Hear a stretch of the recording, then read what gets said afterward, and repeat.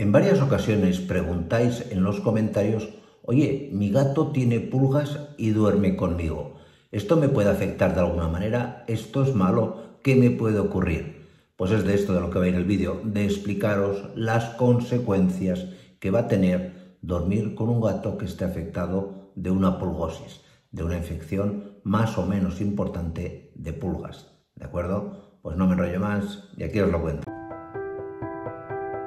Mirad, la pulga del gato es distinta a la pulga del humano. Eso hay que reconocerlo, eso es así. Son pulgas muy distintas.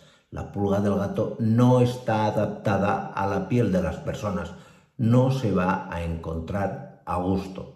Por lo tanto, si tu gato tiene pulgas, estas sí que van a saltar a la piel del humano. No te creas que por ser distintas o por ser un ambiente un poquito más hostil a la pulga, esta no va a sentir la tentación de saltar, porque de hecho saltan.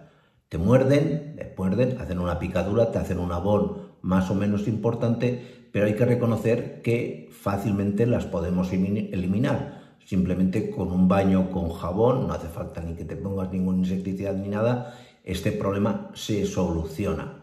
Pero el problema está, y aquí es donde eh, yo sé que alguno se va a enfadar, pero yo, os lo tengo que decir porque es la pura verdad, que la pulga del gato nos puede transmitir enfermedades a los humanos.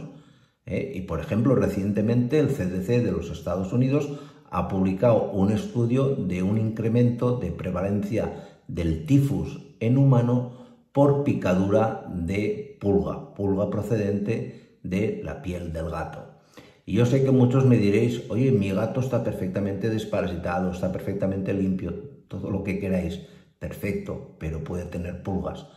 ¿Por qué? Por múltiples razones. Aunque tú lo tengas limpio, lo tengas desparasitado, a lo mejor has estado en la calle, has entrado en contacto con otro gato, ya sé que tu gato no sale de casa, pero a lo mejor traes en la ropa una pulga sin darte cuenta y eso ya es más que suficiente para reproducir el problema. En general, yo sé que os seguiréis enfadando, pero es que no es recomendable. Yo como veterinario os tengo que decir que no es adecuado dormir con animales, ya sean perros, ya sean gatos, porque, vuelvo a decir, aunque estén perfectamente limpios, hay enfermedades que son muy inaparentes y con que solamente nos durmamos con ellos y algún vector, ya sea una pulga, ya sea una garrapata, ya sea un parásito como eh, la toxocara, pues se nos pasen del gato o del perro al humano.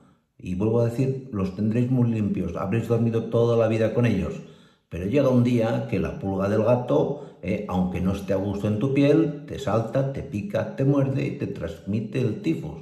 Eso es un riesgo que tenéis que vosotros valorar. Pero yo como técnico en salud os tengo que decir la verdad y la verdad es esa, le duela o le pese a quien le pese. ¿De acuerdo? Pues nada más, definitivamente no es bueno dormir con un gato con pulgas. ¿De acuerdo? Muchísimas gracias y nos vemos en los siguientes vídeos. Cuidaros mucho. Chao.